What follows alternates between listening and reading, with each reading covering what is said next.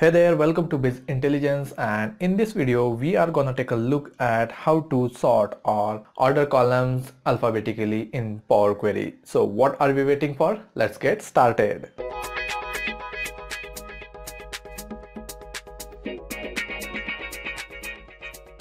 Now let's go and import some data from another Excel file. Let's go to data tab, click on get data option and here click on from file and from workbook.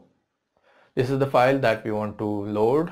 Click on import and it will launch Power Query Navigator window where you can make selection of data source. This is the data source that we want to import. Let's click on transform data to launch Power Query editor window where we can perform data transformation steps on the selected data set. Most of the times we want to order these fields in some orders, especially in alphabetical order you can see these fields are not sorted in alphabetical order and if you want to order these fields alphabetically then what do we do is we click on the field and we drag it towards left or right and place it at its appropriate place.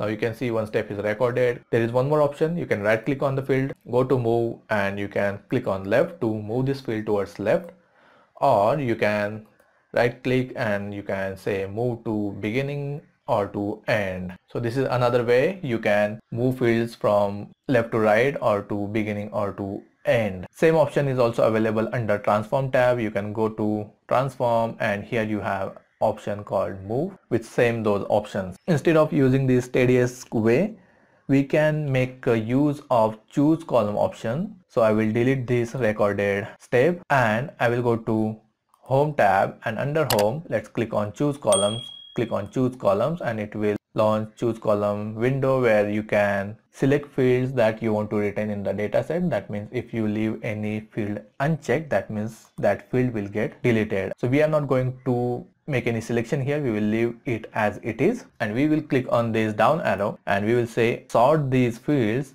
by their name. That means sort these fields alphabetically. Now there is a small catch which I will show you how it will create some problem. Let's click on OK and you can see new step is recorded which says removed other columns instead of reordered columns it has recorded a step called removed other columns and you can see the code of that step here inside formula bar it has taken names of all the fields in alphabetical order and said select all these fields in this order. Now there is a small problem that if you add new field in your dataset, there is a chance that it will miss that field because it says select only these fields in this order. To overcome this issue, what we will do is we will go to the beginning of the field. We will go to first field, right click here and we will go to move and click on to beginning. Now you can see one more step is recorded which says reordered columns and you can see same code as removed other columns is available for this step as well where we can see all the fields alphabetical order. That means they are so sorted in alphabetical order. That means this is going to order all these fields in alphabetical order and if any new fields added in the dataset it will also get added here at the end of this field list though that won't be ordered alphabetically but there is a list I mean there is no chance of missing any fields.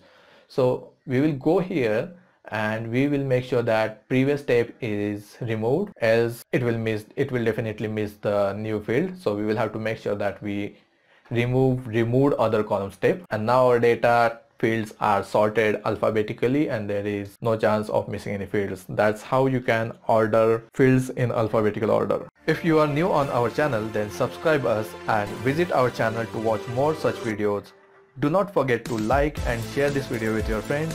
Thank you for watching.